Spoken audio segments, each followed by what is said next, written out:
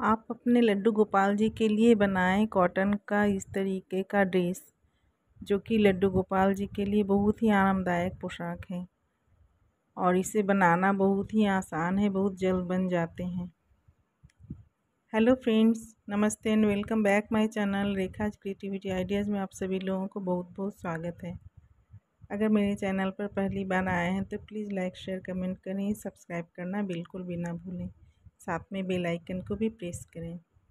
और फ्रेंड्स देखिए लड्डू गोपाल जी को पहनाने के बाद कितने सुंदर लग रहे हैं लड्डू गोपाल जी।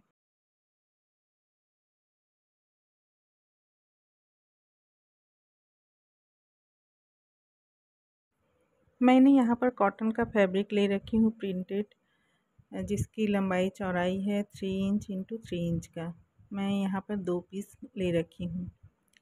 और इसे इस तरह से फ़ोल्ड करने हैं दो बार और फ़ोल्ड करने के बाद बिल्कुल बराबर से फ़ोल्ड करने हैं और हाफ़ इंच का मैं इस तरीके से मेज़रमेंट टेप को पकड़ते हुए मार्क लगाऊँगी। दोनों तरफ़ से मुझे इस तरीके से मार्क लगानी है। और अब दोनों मार्क को मिलाते हुए इस तरीके से राउंड शेप देने हैं और इसे मैं यहाँ पर कट करूँगी। और ये देखिए बढ़िया सा राउंड से बल, बनकर बिल्कुल तैयार हो चुके हैं दोनों पीस। और दोनों पीस को मुझे एक सीधे के ऊपर से और एक सीधे को रखते हुए उल्टे कर लेने हैं और इस तरीके से मुझे पूरे राउंड से को मैं स्टिच करूँगी। मैं यहाँ पर हाथों से ही स्टिच कर रही हूँ।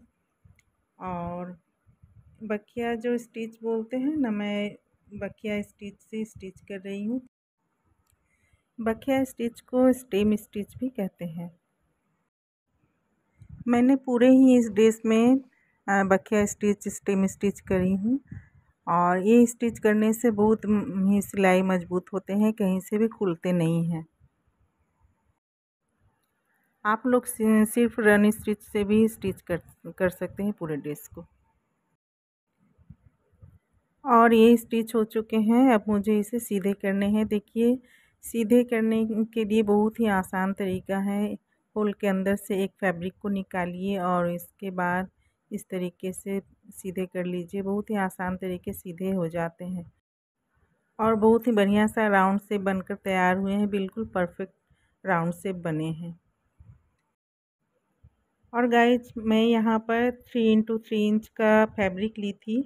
तो आप लोग यहाँ पर three point five inch into three point five inch का फैब्रिक ले सकते हैं। मैंने यहाँ पर इस तरह का कॉटन का वाइट कलर का मैं लेस ले रखी हूँ, जिसे मैं चारों तरफ़ से लेस को स्टिच करनी है।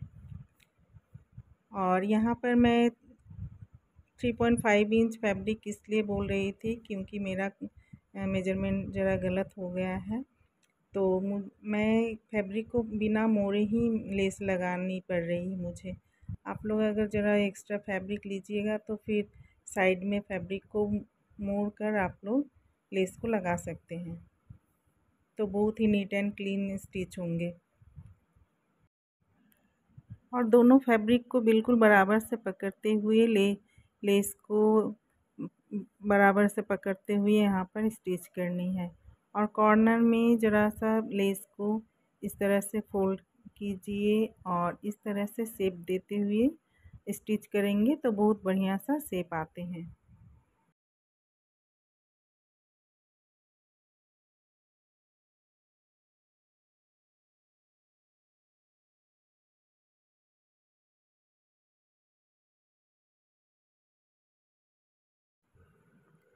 बहुत ही खूबसूरत सा बनकर तैयार हुए हैं यहाँ पर।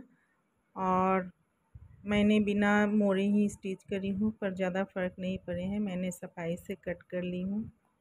और अब मुझे एक और फैब्रिक लेनी है, जो मैं कॉन्ट्रास्ट में ले रही हूँ।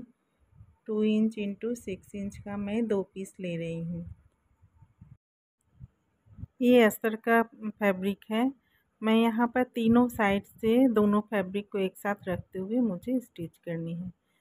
अब स्टिच हो चुके हैं तो मैं यहाँ पर पलट कर सीधा कर लूँगी।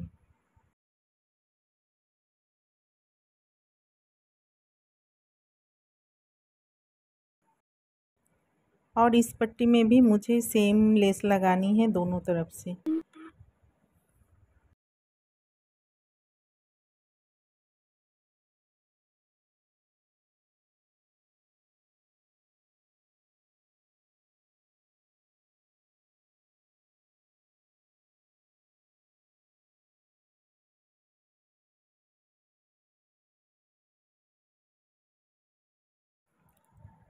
और मैंने यहाँ पर हाफ़ हाफ़ इंच के करीब छोड़ रखी हूँ, लेस नहीं स्टिच करी हूँ। वहाँ पर मुझे पट्टी के तरह स्टिच करनी है, डोरी डालने के लिए नीफा बनानी है मुझे, इसलिए मैंने छोड़ रखा है। और लेस को देखिए, मैं इस तरीके से यहाँ पर स्टिच करूँगी। ऊपर की तरफ़ मैं पूरे फैब्रिक में लेस को रखनी है और जहाँ पर मैं नीफा को लगानी है मुझे, वहाँ पर मैं तिरछा लेस को रखते हुए स्टिच करनी है। और मैंने डोरी के साथ मैं लटकन स्टिच करके रखी हूँ। और लटकन के लिए मैंने दो पीस ले रखी हूँ, two inch into two inch का। इस तरीके से फ़ोल्ड करनी है। फ़ोल्ड करने के बाद इसमें डोरी को डालते हुए बढ़िया से स्टिच कर लेनी है। और स्टिच हो जाने के बाद पलट लीजिएगा तो बिल्कुल लटकन बनकर आपका तैयार हो जाएँगे।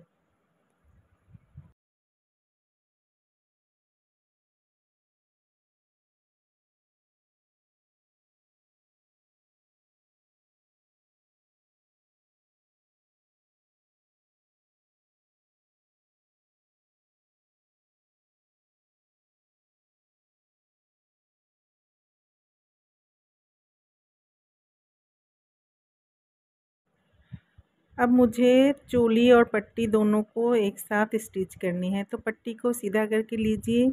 उसके ऊपर से चोली को भी सीधा करके पकड़नी है और इसका जो कॉर्नर आएगा बिल्कुल पट्टी के सेंटर में इस तरीके से पकड़नी है और पीछे से बढ़िया से स्टिच कीजिए। मैं बखिया स्टिच कर रही हूँ, आप लोग चाहे तो रन स्टिच भी कर सकते हैं।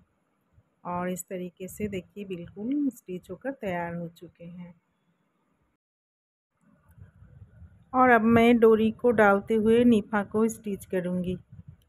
और इस तरीके से देखिए, ठाकुर जी का ड्रेस बिल्कुल बनकर तैयार हो चुके हैं। बहुत ही खूबसूरत ड्रेस है।